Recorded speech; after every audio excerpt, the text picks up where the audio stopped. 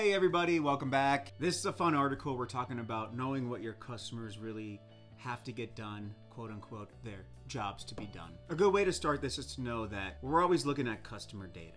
We have all this data on our customers, and it's nice to know where there's patterns or correlation. But correlation is not causality. However, decisions keep being made based off of this data and this correlation that we're finding. It's ultimately leading your firm in the wrong direction. My family says that my fiance is out of my league. All the data points to her being with someone handsomer, more successful, makes more money, taller, the list can go on. What you want to do next is understand what your customer's job to be done is. What do they need and why? Now, this answer could be complex and multifaceted, but just focus on the why and what needs to be done in a certain circumstance.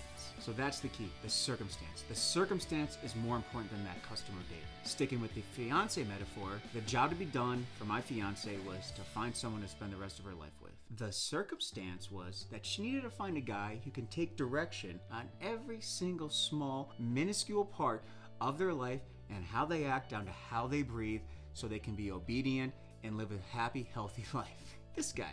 After that, innovate to solve the problems that had inadequate or no solutions at all before. Think disruptive innovation. Also, remember that jobs that have to be done have a social and emotional aspect to them. Again, my fiance's job was to get married. However, I saw that she had these social and emotional needs, so I wrote these sweet soliloquies and poems that she never read, and provided her with an abundance of jokes she does not care for in the least. You're going to want to design your product based off of the jobs to be done. This is exactly why candy comes in these large resealable bags now.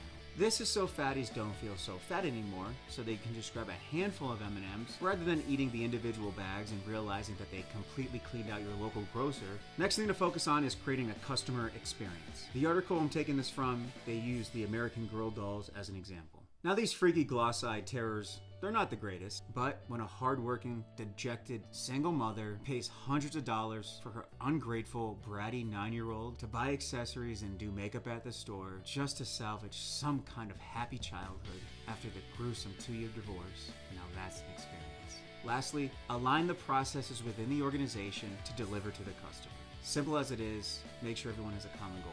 Hey guys, thanks for watching. Uh, don't forget to like, subscribe, comment below, start talking to people.